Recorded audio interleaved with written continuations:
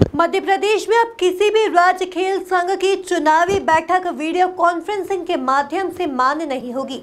चुनावी बैठक में मध्य प्रदेश ओलंपिक संगठन यानी एमपीओए के पर्यवेक्षक बुलाना अनिवार्य होगा। यह फैसला एमपीओए की भोपाल में संपन्न वार्षिक साधारण सभा में लिया गया।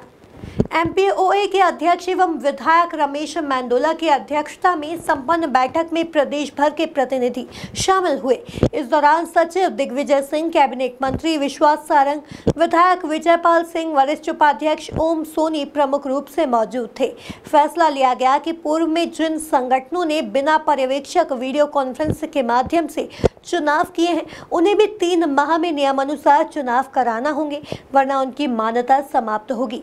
सर्वसम्मति से फैसला लिया गया कि स्पोर्ट्स कोड एमपीओए पर लागू नहीं होगा क्योंकि खेल नीति राज्य का विषय है। गुजरात में होने वाले राष्ट्रीय खेलों के लिए मध्य प्रदेश का दल प्रमुख इंदौर के जयेश आचार्य को बनाया गया है। इसके लिए शासन के साथ समन्वय समिति के प्रमुख इंदौर के ओम सोनी होंगे।